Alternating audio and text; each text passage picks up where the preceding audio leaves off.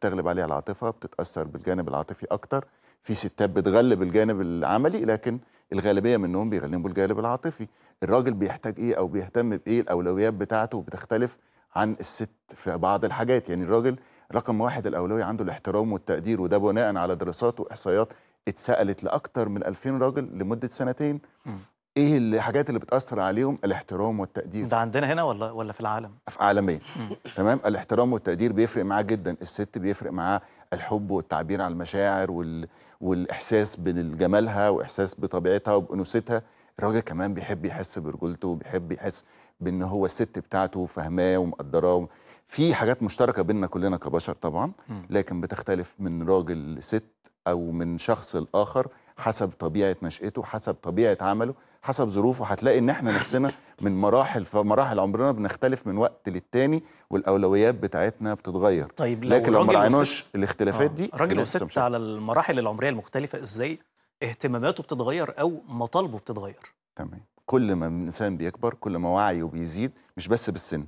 الوعي بيتغير الفكر بيغير التوجهات بتتغير معلوماتك بتتغير مستوى علاقاتك وحجم احتكاكك بالحياة فبتبتدي تدرك معاني ما كنتش مدركها. ممكن وأنت صغير بتدرك الحاجات ال- يعني مثلا وإحنا صغيرين ما بندركش الفرق بين السعادة والمتعة.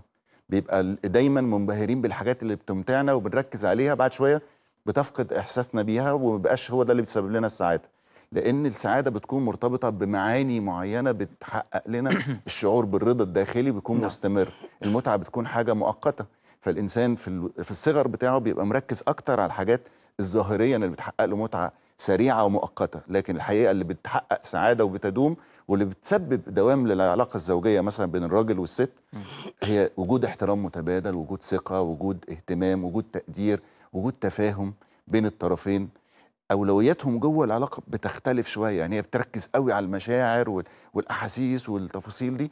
هو ممكن بيركز أكتر على الجانب العملي لده تطبيق المشاعر. فبنلاقي إن الست بتشتكي في المشاكل الزوجية أو كذا.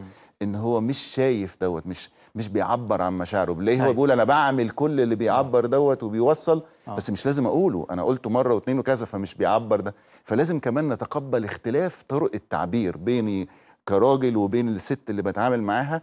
والست اللي بتعامل معاها تحديدا يعني زوجتي تحديدا مش بشكل مش عام. أي حد. آه يعني أنا بتكلم بشكل عام اولا اعرف إن في فرق بين الراجل والست في في تعبيره عن الحاجة. طب ما إحنا لو ما فهمناش الفرق التعبير دوت هنصطدم. ليه؟ لأن أنت آه أنت مركز في شغلك يبقى أنت مش مهتم بيا مثلا أو أنت ما بتحبنيش أو أنت ما بتقوليش إنك بتحبني بس هو بالنسبة له لسه عامل كذا وكذا وكذا وكذا تعبير عن عن شدة حبه واهتمامه ليها. ده هو سافر في شغله السفرية دي عشان يقدر يحقق لها المطلب الفلاني. ده بالنسبة له من وجهة نظره لما بنسأل الراجل في المشاكل الزوجية يقول لك آه طبعا أنا بعمل كل حاجة علشانهم. فهو بيحس بالإنجاز دوت وعايز تقدير للإنجاز ده.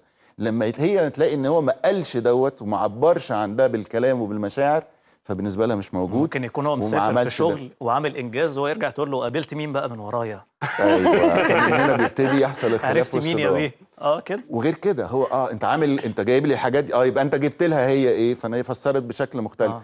أو إن هو عامل الحاجات دي برضه ما هو الراجل برضه بيبقى غلطان هنا إن أنا بعمل كل الحاجات دي مش بعبر مم. مهم قوي إن أنا أعرف إن الست بتحب التعبير عن المشاعر بتحب تحس بالعاطفة فلازم تحسها مش بس إن أنا أنفذها أو إن أنا بعمل الواجبات. لما الجواز بيتحول لشكل روتيني وشكل واجبات هما الاثنين هنا بيفقدوا معنى العلاقة وطعم العلاقة والحاجة اللي بتديهم حافز إن هم يكملوا ويستمروا ويستحملوا صعوبات الحياة.